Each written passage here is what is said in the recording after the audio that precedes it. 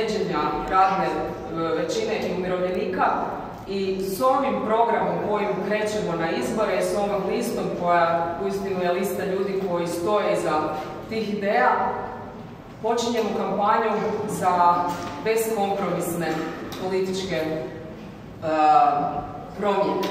Ono što želim reći je da je ovo jedna od rijetkih lista koja je uistinu lista ljudi, a ne lista oportunista. Nakon izbora, jesu li vaši koalicijski partneri isti oni koji su vas evo sad na neki način iznavjerili? Mi sigurno nećemo ući ni u jednu vladu. Ne smatramo da bilo ko ko je u mogućnosti stvoriti većinu može promijeniti ove politike nabolje. Važno je da se radničku frontu podrži na ovim izborima zato što je radnička fronta zalog radničkog glasa u Saboru. Radit ćemo na tome da proradničke politike dobiju što veći broj glasova i što veći broj zastupnika u Saboru, da bismo jednom stvarno promijenili sliku Hrvatske nabolje na način da se kreće uistinu radikalno, to znači korijenite promjene.